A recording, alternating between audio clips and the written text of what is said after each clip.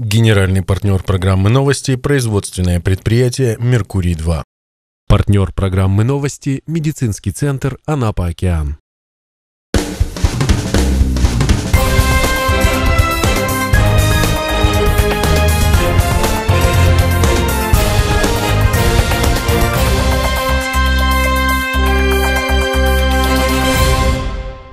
В эфире новости Анапа регион. Я Ирина Меркурьева. Здравствуйте. Итак, смотрите сегодня в выпуске.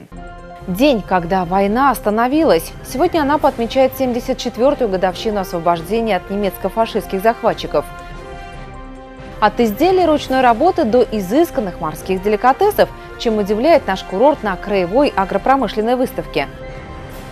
Главное достояние Анапы – ее жители – преддверии Дня города территориальное общественное самоуправление подводят промежуточные итоги своей работы.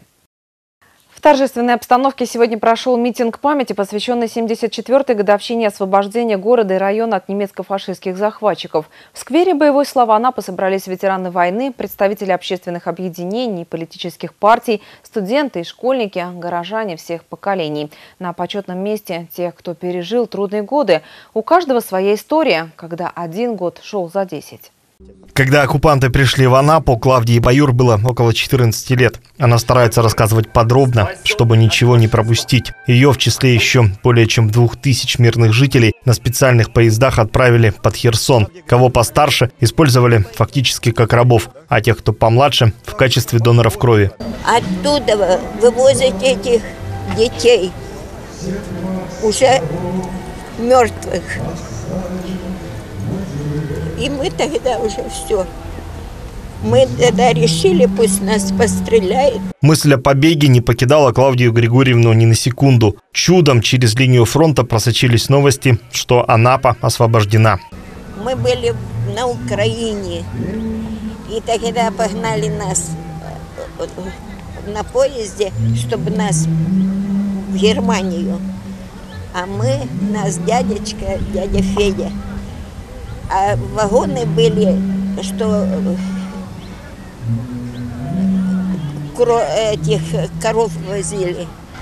Разбивали двери и нас выбрасывали. Домой удалось вернуться уже в победные дни. Из-за боев и оккупации город оказался практически полностью разрушен. Но война не сломила дух его жителей. Тех, кто пережил оккупацию, воевал в партизанских отрядах и на фронтах. Каждый год в этот день Анапа вспоминает героев, отдавая дань уважения воинам-освободителям. Я хочу обратиться к вам, сказать вам большое, огромное спасибо, уважаемые дорогие ветераны, за то, что сейчас мы находимся здесь, под мирным небом. Вечная память погибшим, которых нет среди нас. Они воевали за то, чтобы мы все сегодня стояли здесь. Я хочу обратиться к молодежи, молодому поколению. Пока мы будем помнить День Победы, даты освобождения наших городов, мы непобедимы с вами. Ветераны совершили подвиг не только ратный, но и трудовой, восстановив Анапу, полностью разрушенную после фашистского нашествия. В первые годы приступили к восстановлению. И буквально в мае 45 -го года первый санаторий имени Ленина принял фронтовиков на лечение. И это была трудовая победа. По словам председателя городского совета ветеранов Анатолия Гапонова, сегодня в муниципалитете очень сильна преемственность поколений. Мне хочется пожелать всем здоровья, мира, добра и поблагодарить руководство города, депутатской корпус за то, что проводятся такие мероприятия. И отрадно, что все больше и больше молодежь принимает участие в этих мероприятиях. А значит, благодари на России не переведутся. С праздником! Пара белых голубей в небо, цветы тем, кто участвовал в войне, трудился в тылу, так или иначе столкнулся с ее тяготами. После минуты молчания и салютного залпа к мемориалу «Вечный огонь» возлагают венки памяти от губернатора Кубани Вениамина Кондратьева и законодательного собрания края, от Анапского районного казачьего общества, политических партий и общественных организаций, исполняющий обязанности главы Анапы Юрий Поляков и председатель городского совета Леонид Кочетов, а также руководитель Совета ветеранов, возлагают венок от благодарных анапчан В Анапе стало традицией приглашать ветеранов на прием главы после митинга. Юрий Поляков еще раз от души поблагодарил участников тех страшных событий за мужество и стойкость, за мирное небо над Анапой. И сегодня на несение почетной вахты памяти заступил пост номер один. В Анапе свято чтят традиции воинской славы. Молодежь принимает самое активное участие во всех военно-патриотических мероприятиях. Сегодняшняя дата – одна из самых значимых страниц в истории города воинской славы. Торжественные мероприятия по открытию вахты памяти традиционно состоялись у стелы воинской славы. Десятки школьников, студентов и кадетов собрались здесь, чтобы отдать дань памяти погибшим в годы Великой Отечественной войны. Это движение, движение постовое в нашем городе объединило всех. Школьников, студентов, неравнодушную молодежь нашего города. Мы твердо знаем, что мы наследники великих побед – мы твердо знаем, что в наших руках будущее и мир в нашей стране, на нашей Кубани, в нашем замечательном городе, городе-курорте Анапа.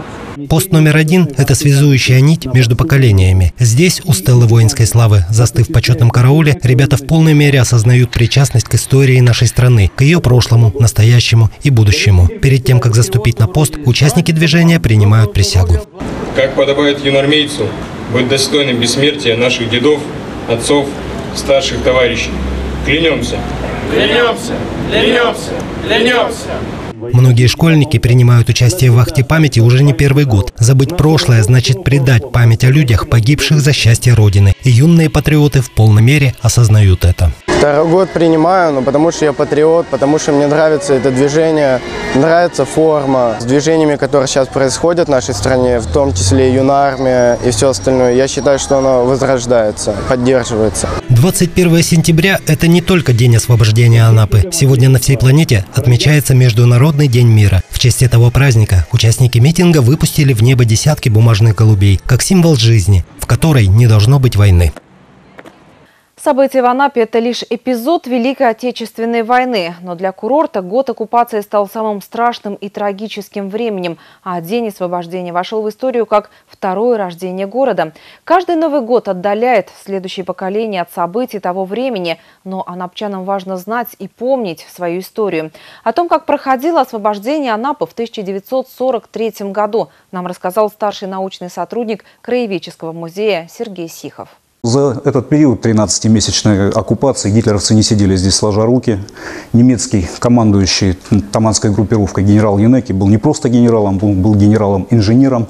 И за этот период здесь, на территории Таманского полуострова, было построено мощнейшее оборонительное укрепление гитлеровцев, которое называлось «Голубой линией».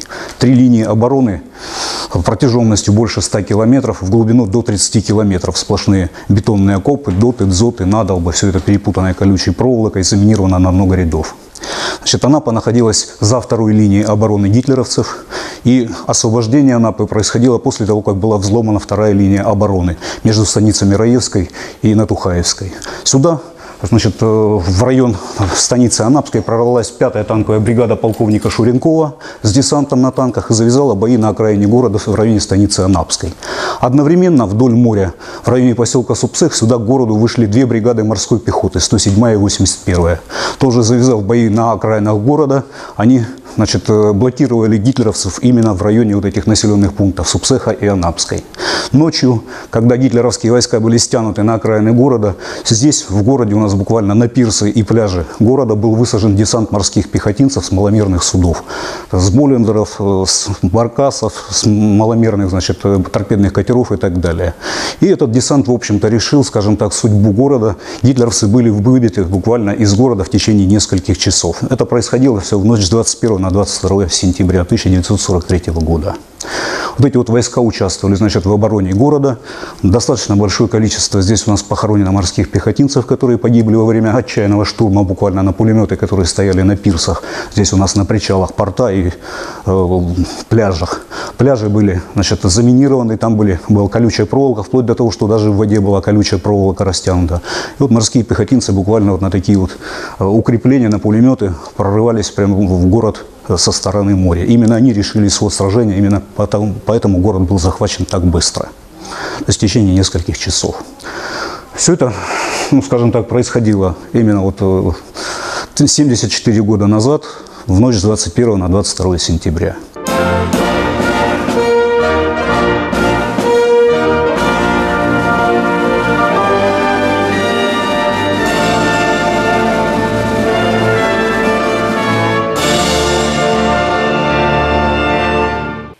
Другим темам. Анапские сельхозтоваропроизводители защищают честь города-курорта на седьмой агропромышленной выставке, которая в эти дни проходит в Краснодарском конгрессном комплексе «Экспоград-Юг».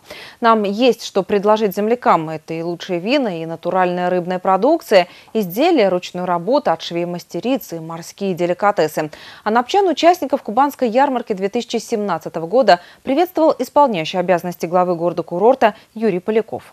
Сделано своими руками, с любовью и знанием дела. К продукции участников Кубанской ярмарки эти слова подходят как нельзя лучше. Лучшие образцы своего труда на седьмой агропромышленной выставке представляют 24 фермера, агрария и винодела Анапы. Экспозиция виноделов курорта традиционно выделяется на общем фоне. К оформлению подошли с душой, так как искренне убеждены – Анапа – лучшее место на земле для изготовления напитка богов. Это одно из лучших мест на земле для выращивания винограда, и это более двух тысяч лет люди здесь выращивают виноград. И нам надо заниматься этим обязательно, потому что, ну, к сожалению, проблемы виноделия у нас в стране существуют, и наши небольшие попытки делать настоящее качественное вино, я думаю, нашим населением будут приняты на ура. Еще только предстоит завоевать рынок и покорить сердца покупателей Дарьи Марчук и ее помощницам. Относительно новое даже для Анапы направление – устричное хозяйство. Морской деликатес, выращенный в водах Черного моря по вкусовым качествам, не уступает аналогам из-за рубежа, а по цене наоборот – продукт доступный. Несомненно, такие мероприятия позволяют нам показать себя, позволяют донести до человека непосредственно свежий продукт для того, чтобы он попробовал впервые в своей жизни, и он ему действительно понравился. Ну и, конечно, реклама это стопроцентный результат. Очень много людей о нас узнают на таких мероприятиях. Любое такое начинание будет поддержано, комментирует исполняющий обязанности главы Анапы Юрий Поляков. Это развитие предпринимательства и настоящее импортозамещение. Есть поручение губернатора, оно касается всех, всех глав муниципальных образований. Мы должны у себя в первую очередь реализовывать продукцию краевых товаросельхозпроизводителей. То есть наш производитель, который выращивает вот это, мы отвечаем за то, чтобы он получил реализацию. Независимо ни от чего, от сосиски до устрицы, от молока до воды. Сегодня что получается? Часть регионов впитала эту информацию, я имею в виду муниципальных образований, и продвигает. Да? У нас тоже продвигается. Но я зачастую вижу в предприятиях общественного питания вода, которая даже не с Российской Федерации. То есть у нас еще предстоит большая работа. Местное сырье должно стать основой для перерабатывающих предприятий. Об этом Юрий Поляков говорит с продолжателем семейного дела из Юровки. Продукция местного рыбзавода пользуется спросом. Но используется наших местных краевых производителей? Да, да конечно. Краснодарский край, Тимошевский район. Вот, отлично. Аз, То есть... Азовское море, вот Тарань Азовская, допустим. Тот же Судак Ахтанизовский. Это все вот лиманы, пруды наши местные. Ну, это Темрюкский район. Отлично, да. да. То есть важно что? Чтобы э, сырье, которое вы берете, использовалось наших краевых производителей. Внимание покупателей – лучшее подтверждение высокого качества анапской продукции. Мы часто бываем в Анапе, потому что у меня там живет сестра. Вот буквально неделю назад мы оттуда приехали, и мы всегда покупаем там э, рыбу производства Юровского завода. Удивительно вкусная рыба. Я вообще рекомендую всем. Очень вкусная. И я даже случайно увидела, что здесь на выставке этот завод представляет свою продукцию. Вот сейчас подошла и хочу с удовольствием купить ее. Исполняющий обязанности главы Анапы обошел все анапские стенды, поприветствовал их участников и нашел время, чтобы обсудить с каждым нюансы производства. Между тем, праздник только набирал обороты. С главной сцены кубанской ярмарки посетителей и аграриев приветствовал глава региона. Нужно сделать все возможное, чтобы эти продукты питания, товары, вот те фрукты, овощи были на столах каждой кубанской семьи на столах у каждого жителя нашего края, ну и, конечно, на прилавках магазинов и не только в нашем крае, но и за его пределами было как можно больше кубанской продукции.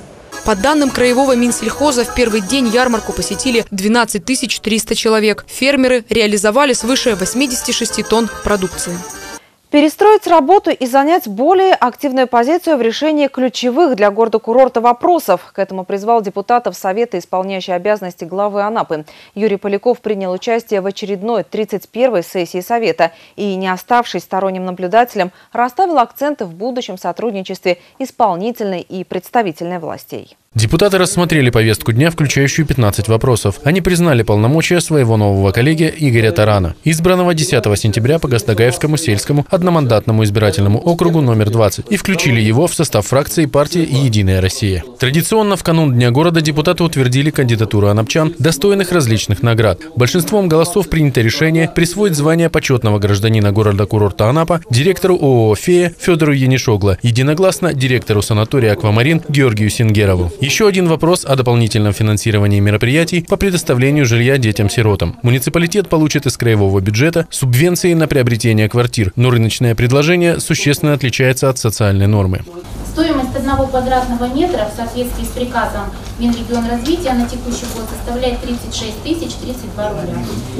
На территории муниципального образования в соответствии с действующим постановлением администрации стоимость квадратного метра составляет более 48 тысяч рублей. В администрацию поступило коммерческое предложение по равной спецнорме цене, но отличающееся в площади квартир. На покрытие расходов необходимы дополнительные полтора миллиона рублей. Депутаты утвердили сумму. О бюджетной политике и повел речь исполняющий обязанности главы Анапы Юрий Поляков в заключительном слове. Он обратился к депутатам с призывом занять более активную позицию в решении ключевых для города-курорта вопросов. Нам нельзя с вами сегодня и завтра бездумно, бездумно тратить деньги. Сегодня можно говорить о том, что бюджет не резиновый. Но если бы мы говорили о том, что мы собрали весь бюджет, тот, который нужен, у нас есть вопросы и к налоговой инспекции, с Татьяной Дмитриевной мы разговаривали. У нас вообще есть к людям а вопросы, которые не всегда все оплачивают и платят. Поэтому мы попадаем в такую рамку, где нам не хватает денег. Раз нам не хватает денег, то мы с вами все вместе – не можем заниматься благоустройством, улучшением города. У нас а начинаются местечковые решения вопросов только на месте. Вот тут лампочку прикрутили, вот тут ямку заделали. Ну послушайте, это город-курорт, у нас с вами должен быть какой-то запас средств. Поэтому благодарю вас за ту работу, которая была есть. И давайте немножко перестроимся с вами в другое русло. Немножко займемся делом для города. Юрий Федорович подчеркнул, он намерен сплотить депутатский корпус в работе на пользу городу и анапчанам.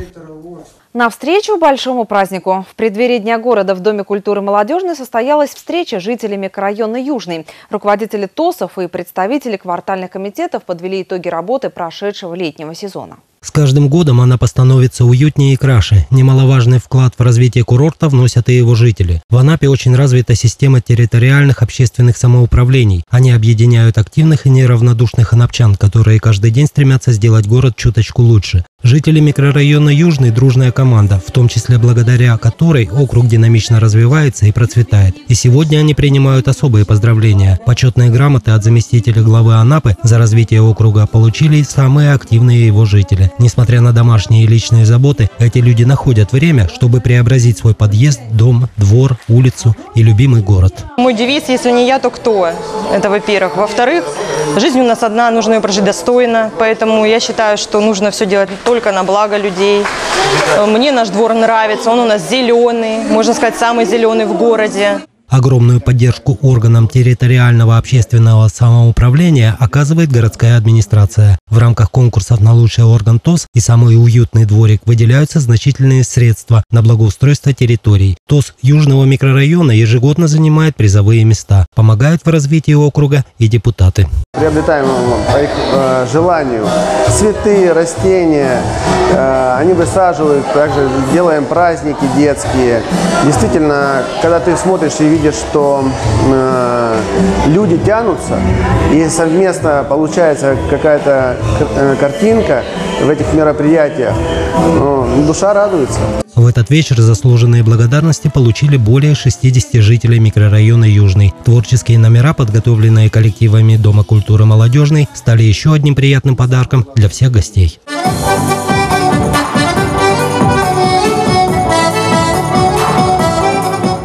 Далее информация о погоде на завтрашний день. Партнер прогноза погоды – фирменная сеть магазинов «Тавровские мясные лавки». В Тавровских мясных лавках молочная Тавр вареная 218 рублей. Солями финская с можжевельником 299 рублей. Сосиски тавровские 188 рублей. Тавровские мясные лавки в Анапе. Парковая 93А, Крымская 98, Амелькова 28 и Астраханская 75А.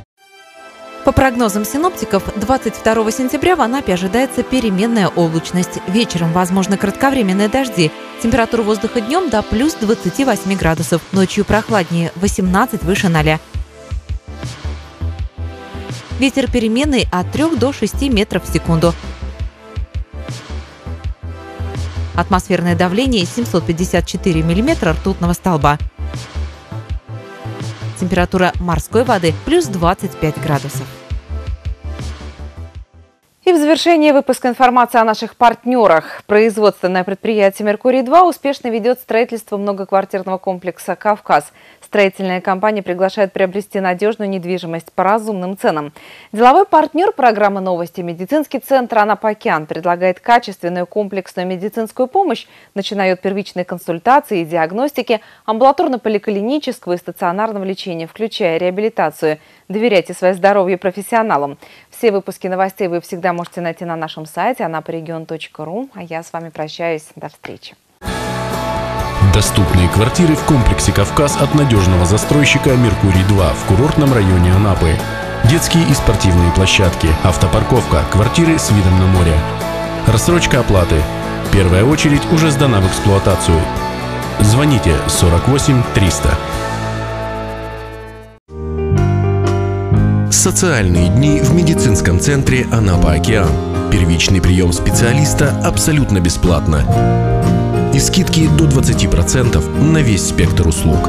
Анапа Океан. Ваше здоровье в надежных руках. Подробности по телефону 424 19.